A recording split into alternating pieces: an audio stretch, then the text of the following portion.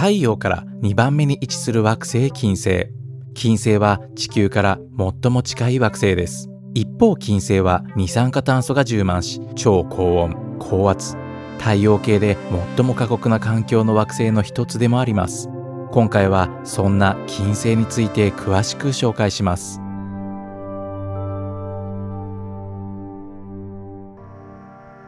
金星は地球の一つ内側、太陽から2番目に位置しています。太陽から最も近い時、太陽との距離は 0.718au。最も遠い時は 0.728au です。遠い時と近い時の差が小さく、これは金星軌道がほぼ円軌道であることを表しています。実際に金星は太陽系惑星の中で最も円軌道です。公転周期は地球の約225日。7ヶ月半で太陽の周りを一周します。金星の公転速度は秒速 35km。地球の公転速度が秒速 29.8km なので、金星の方が地球よりも秒速 5km も速く動いています。地球と金星が最接近した時の距離は約4000万 km。とても距離が近いので地球から金星へ行く必要エネルギーは少なくて済みます。よって金星は他の天体へ行くための経由地にされることが多く探査機は金星で加速や減速を行います。金星の時点。金星の時点は地球の243日です。1日243日もかかります。これは太陽系惑星で最も遅い自転速度です。どれくらいのスピードかというと例えば地球の赤道は自転によって時速約 1680km で移動しています。旅客機の約2倍のスピードです。一方金星の赤道上の移動速度は時速たったの 6.5km 早歩きと同じくらいのスピードです。通常太陽系惑星の自転方向は公転方向と同じです。しかし金星の自転は逆向きです。なぜ金星の自転が逆向きなのか現在でも理由は判明していませんが一説には巨大天体の衝突によって自転が逆転したとされています。公転と自転の向きが反対になっている影響で日の出から次の日の出までは約117日間あります。よって金星では日の出とともに起床。日の入り後に眠りにつくという地球の習慣が通用しません。もし金星に移住すると生活リズムは乱れそうです。金星の大気。金星には地球と同様分厚い大気があります。一方成分は地球と全く異なります。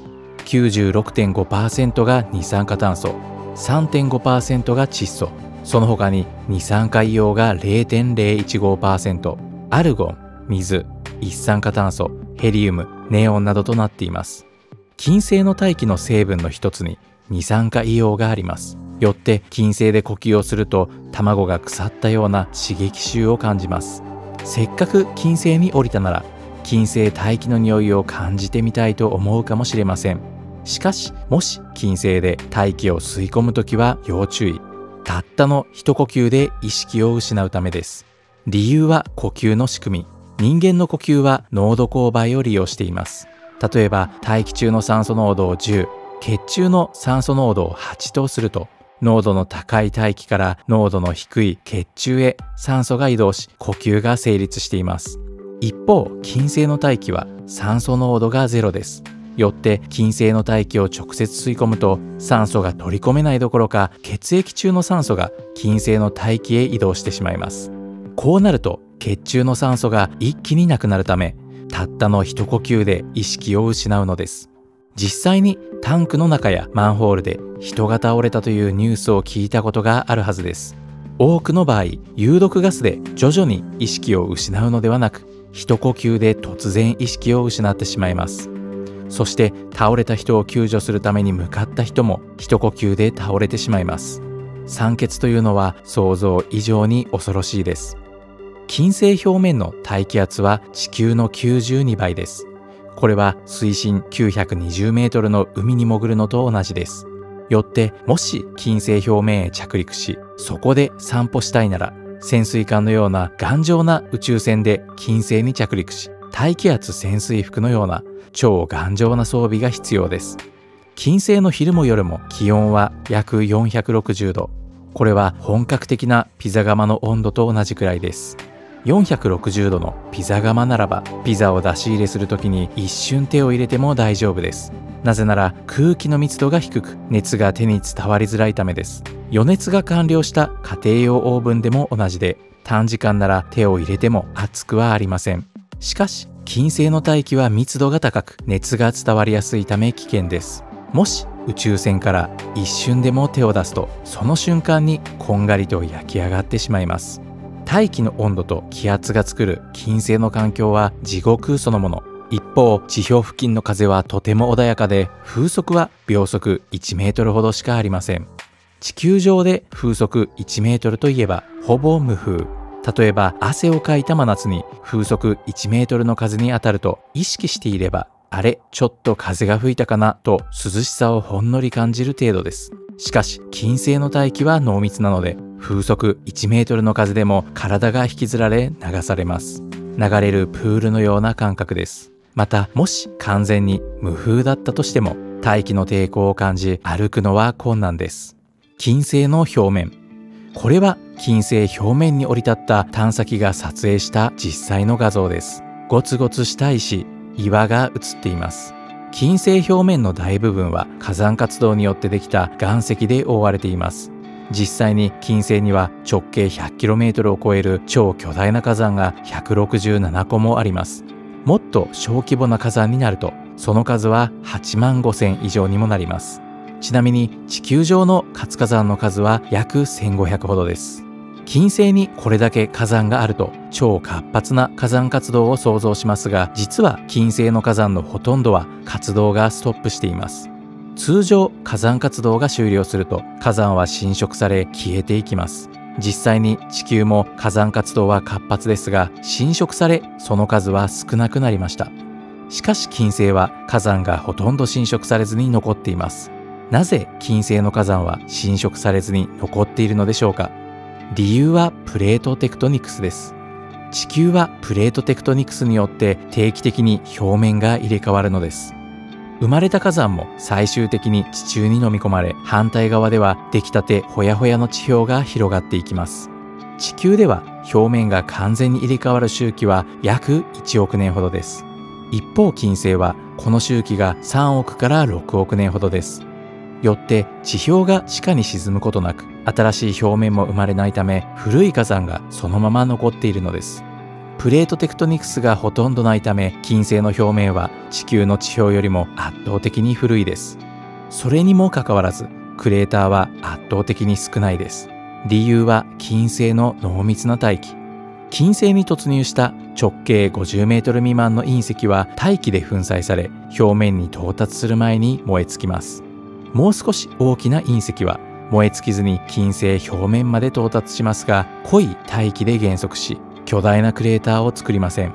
よって金星の大気を突き抜け巨大クレーターを作ることができる隕石は金星大気で燃え尽きずほとんど減速しない巨大隕石だけです。実際に金星のクレーターは全て巨大でそのサイズは直径 3km 以上です。金星の内部構造。惑星の内部構造を調べるのはとても大変です。例えば人類が地球で掘削した最も深い穴は 12km ほど。地球の半径は 6000km 以上なので 12km はゆで卵の薄皮程度です。地球でさえ深く掘ることは難しいのに金星の内部を実際に掘削して調べることはできません。そこで通常惑星の内部構造は地震や自転の変化から推定しています。観測の結果金星の内部構造は地球とほぼ同じで地殻マントルコアがあることが判明しています。磁場が弱い。金星の内部構造は地球によく似ています。しかし金星には地球のような磁場はほとんどなくとても弱いです。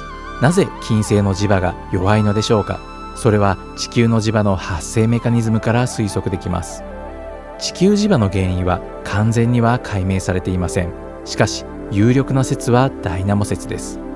地球のコアは2層構造になっていて固体の金属コアとその外側に液体の金属コアがあります。コアの中心固体金属コアは液体金属コアよりも温度が高いため固体コアに触れた液体金属は上昇します。その後コア外側のマントルで冷やされることで液体金属コアは対流しています。この対流によって地球の磁場が発生するというのがダイナモ説です。一方金星は先ほど紹介した通り地表が3億年から6億年ほど入れ替わっていません。そして表面が断熱効果を発揮しその下のマントルは保温されます。液体金属コアの対流はコアとマントルの温度差で発生するためマントルの温度が高いと対流は弱くなります。これが金星磁場が弱い理由の一つだと考えられています。